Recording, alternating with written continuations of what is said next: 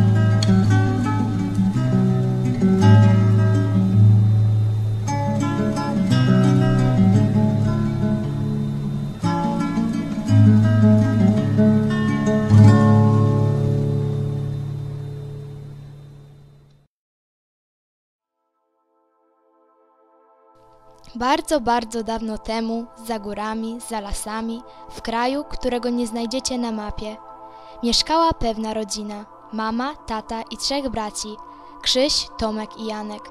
W niepozornej drewnianej chatce, pozostawionej w samym sercu lasu, mijał im dzień za dniem. Dzieci dorastały, a rodzice stawali się coraz starsi.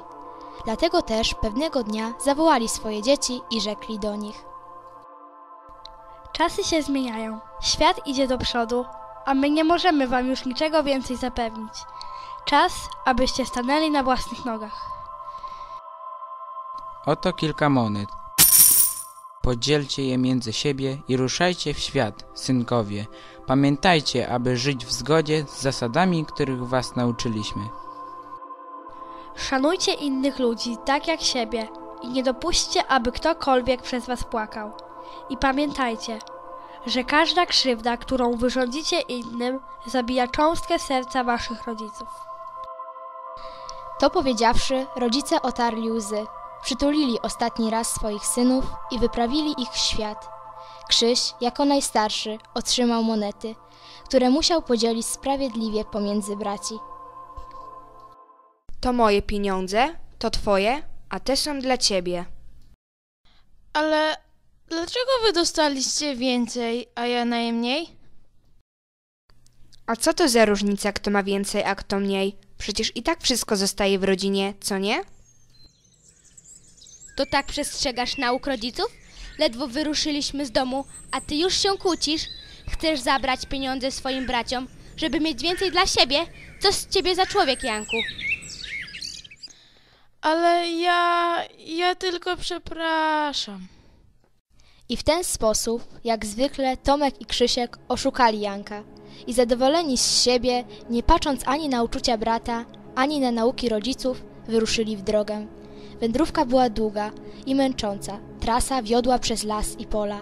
Bracia szli jednak przed siebie, chociaż każdy z inną myślą w głowie. Krzyś chciał zdobyć wielki majątek. Tomek oprócz pieniędzy marzył również o ślicznej żonie. A Janek? No cóż, on jeden ciągle wspominał ukochanych rodziców.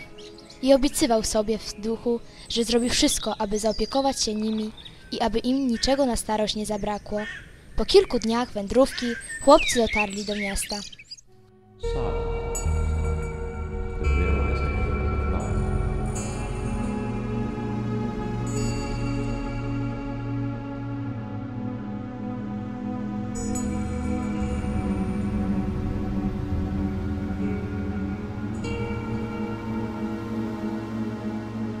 O raju, Tomek, patrz, to jest życie.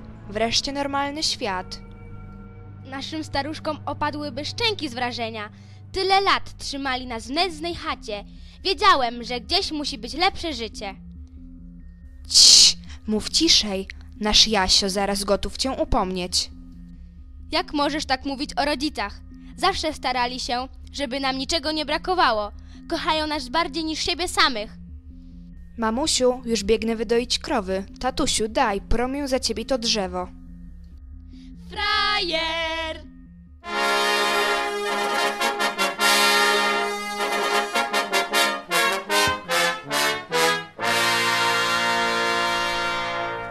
Miejsce dla królewskiego wysłannika! Zróbcie miejsce dla królewskiego wysłannika!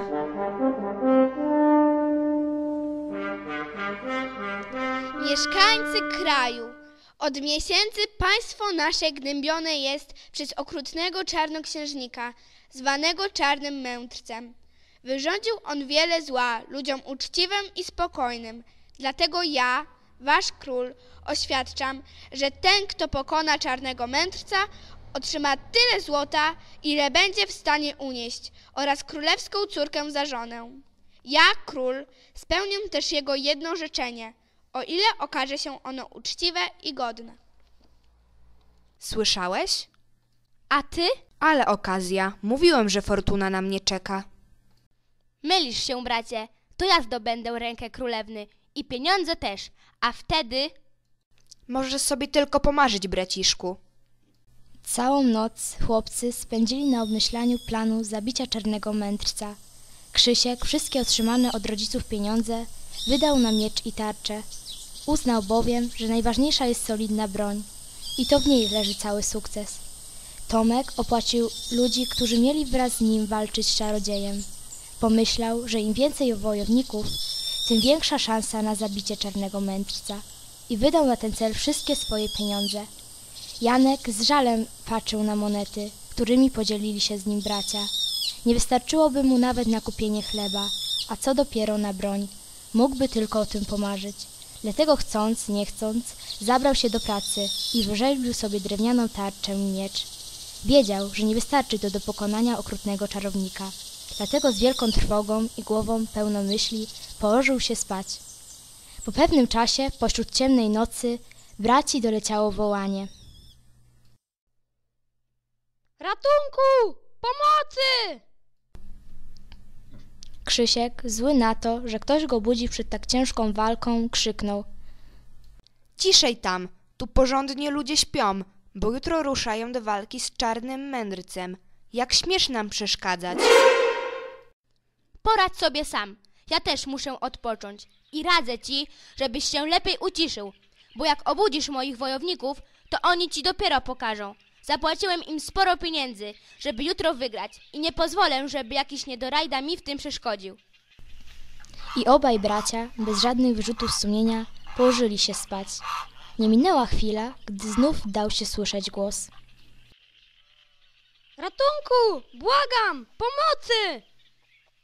Czy to mi się śni? Kto tu tak woła po nocy? Pomóż mi! Proszę! Gdzie jesteś? Nie widzę cię. Padłem do bagna i nie mogę się wydostać. Ale ty jesteś smokiem.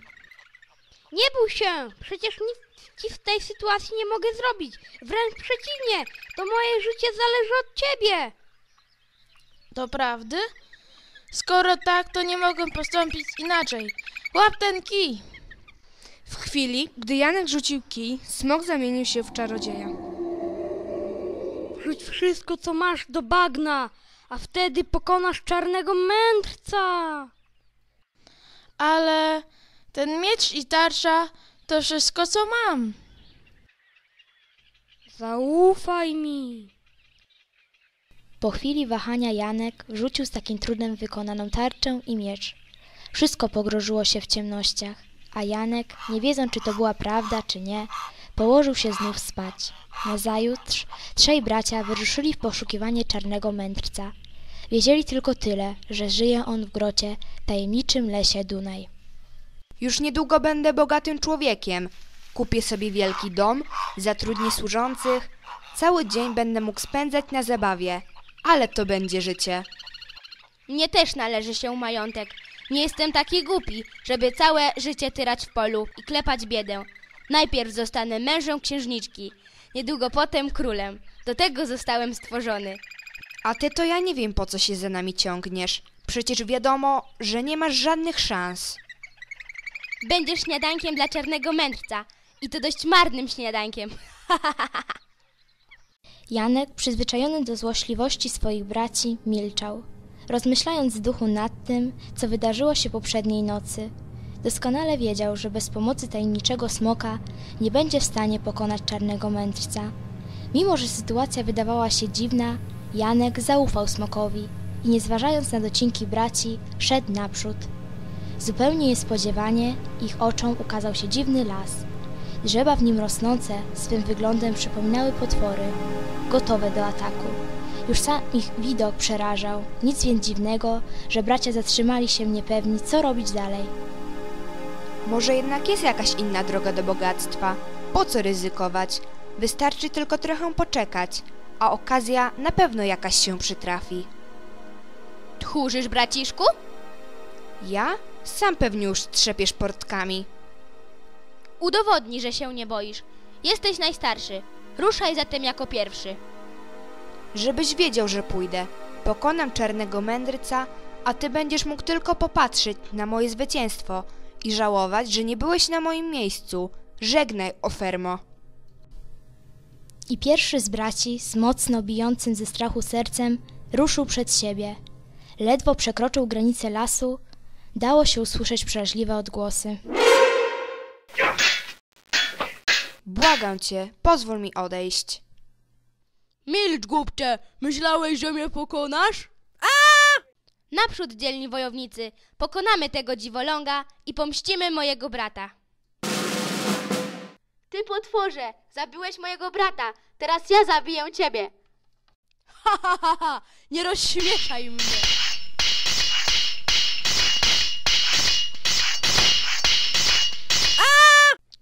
I co mam teraz zrobić? Skoro moi bracia nie mieli szans, to czy mnie się uda pokonać czarnego mędrca? Kto zaopiekuje się rodzicami, jeżeli ja zginę? Z rozpaczy na pewno pęknie im serce. Co robić? Obiecałem ci pomóc. Nie bój się! Idź! Janek wszedł do lasu. Jego oczom ukazała się grota, w której mieszkał czarny mędrzec.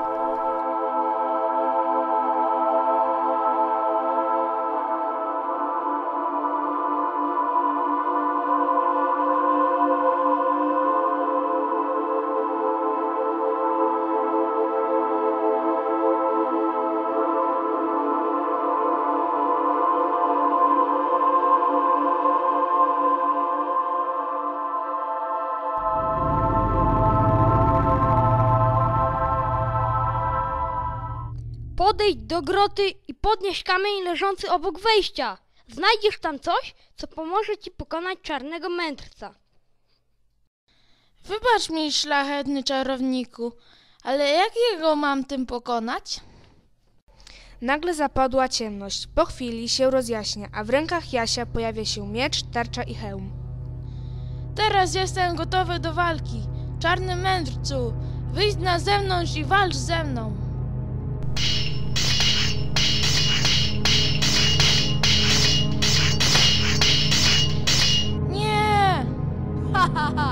Zginiesz jak twoi bracia.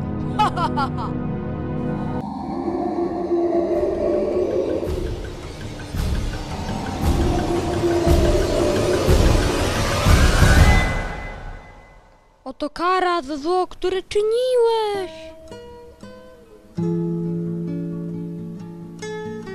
I tak oto Jaś, korzystając z pomocy dobrego czarodzieja, pokonał czarnego mędrca. Nagrodę otrzymał złoto i rękę pięknej królewny. Król obiecał także spełnić jego jedno życzenie.